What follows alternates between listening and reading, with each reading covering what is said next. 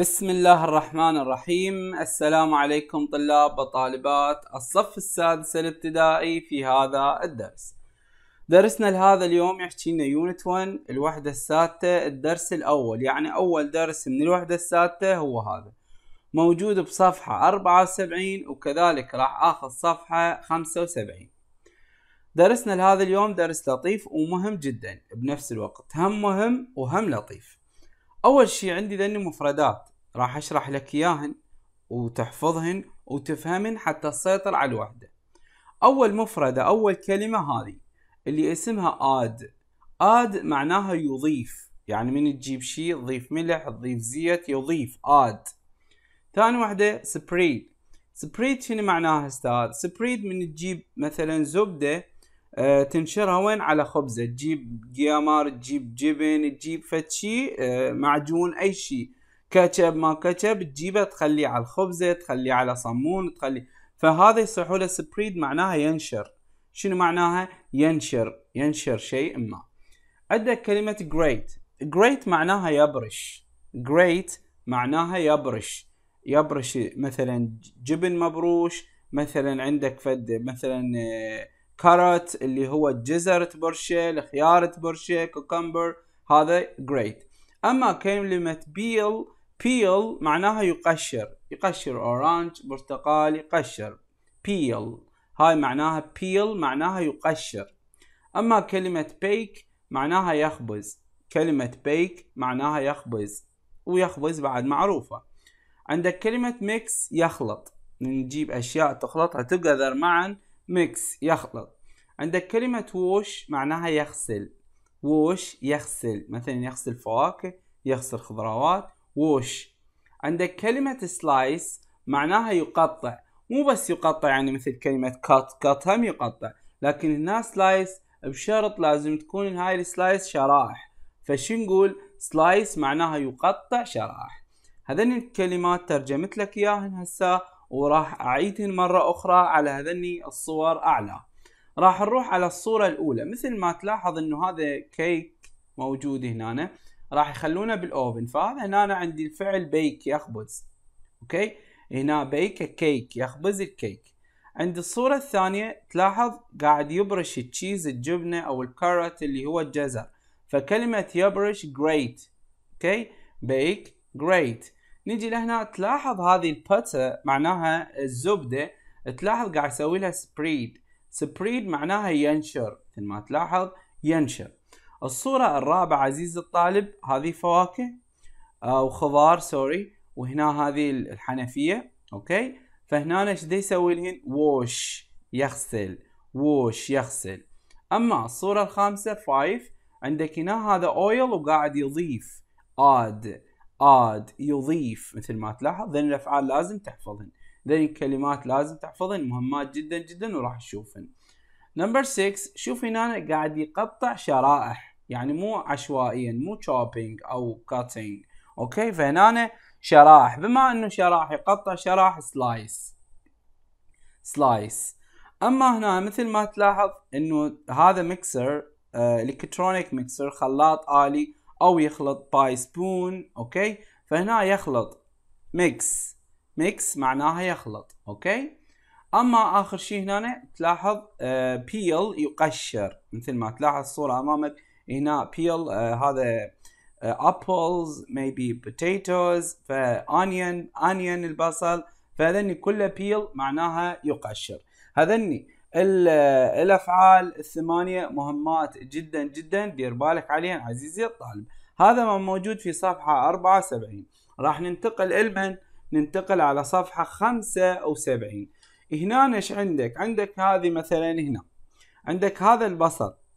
شو نقول عليه؟ sliced onions بصل يعني مقطع شرائح لو sliced tomatoes يعني طماطة. شوف هسه طماطة okay؟ آه لو بصل مثل ما تلاحظ المطلوب من عندك أنت فقط تخلي tick وصلت الفكرة؟ نيجي للثاني picture number 2 هذا grated معناه مبروش okay؟ carrot جزر مبروش.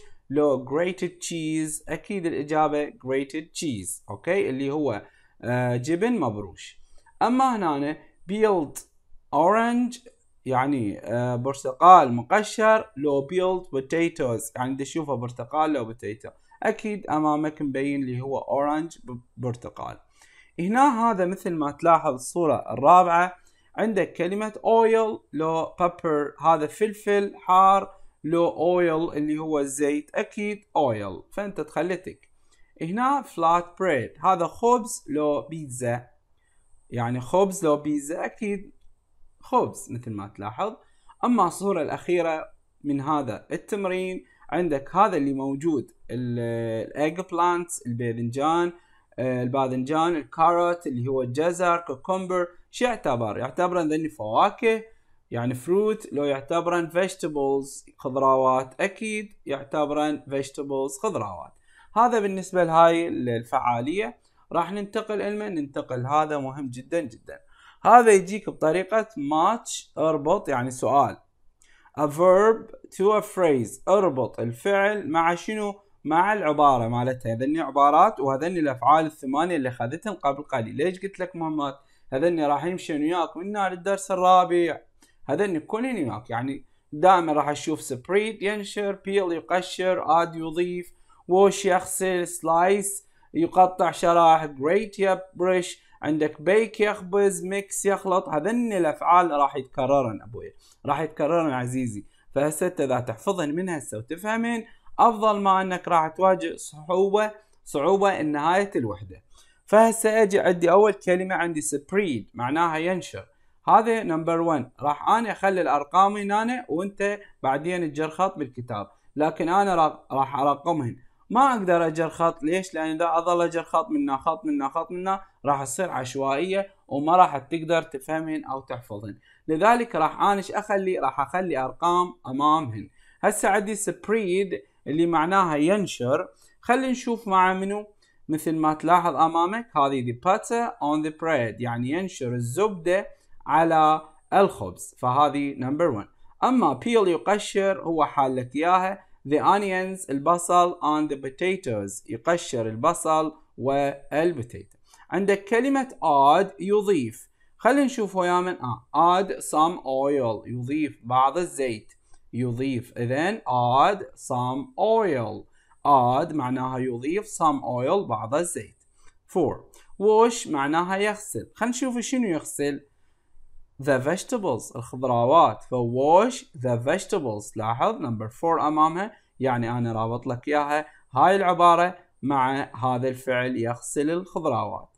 5 اللي هي slice. يقطع شرائح. شنو هو اللي يقطع؟ وهي الخامسة. لاحظ هاي 5 خمسة مع هاي أول وحدة The onions يقطع شرائح. البصل on tomatoes. والطماطة فلاحظ 5 عندك كلمة great اللي معناها يبرش. خلينا نشوف إيش يبرش. لاحظ؟ 6 the cheese يبرش الجبنة. great the cheese. great the cheese. number 6 اللي هي هذا الفعل السادس. أما الفعل السابع اللي هو bake يخبز. خلينا نشوف وين يخبز؟ bake in the oven. لاحظ؟ يخبز في الاوفن اللي هو هذا الطباخ الاوفن bake the in the oven. يخبز في الطباخ الأوفن. عندك كلمة mix اللي معناها يخلط مع تلاحظ الثامنة هاي everything together. Bay mix mix اللي معناها يخلط كل شيء معا. هذا درسنا لهذا اليوم. هذني الافعال الثمانية جدا مهمات. بالإضافة إلى هذا التمرين اللي أربط مهم أيضا جدا جدا دير بالك عليه. لحد لهنا انتهى درسنا لهذا اليوم. انتظرونا في دروس قادمة. والسلام عليكم. ورحمة الله وبركاته.